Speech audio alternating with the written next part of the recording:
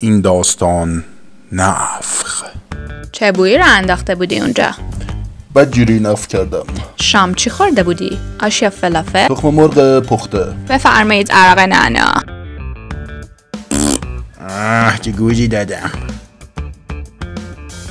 بگوز. اینجا؟ ببین نفخ چیز طبیعیه تو بدن انسان. هر موقع که نفخ کردی بگوز و خودتو راحت کن. گوز.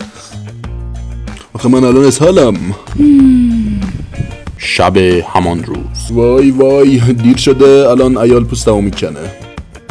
سلام ایال. سالم و زهر مر معلوم نیست تا الان کدوم گوری بوده.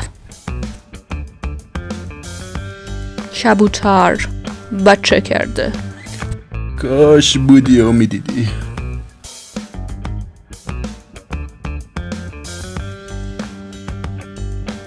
اوف گوز دارم.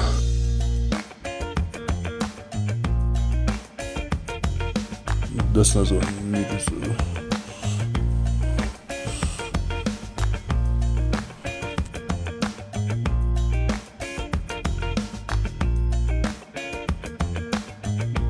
ای.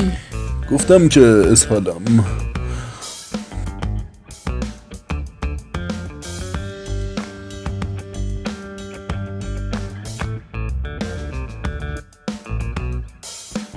بدریدم.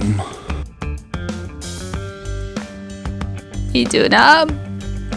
کسافت از نظر شما ما چه درسی می‌تونیم از این داستان داشته باشیم؟ توی تنهایی بگوزیم یا در انظار عمومی؟ گوز بدتره یا اسهال هیچ فرقی نمی‌کنه.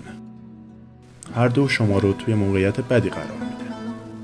به گفته یکی از بزرگان خودگوزی و خودخندی عجب مرد هنرمندی.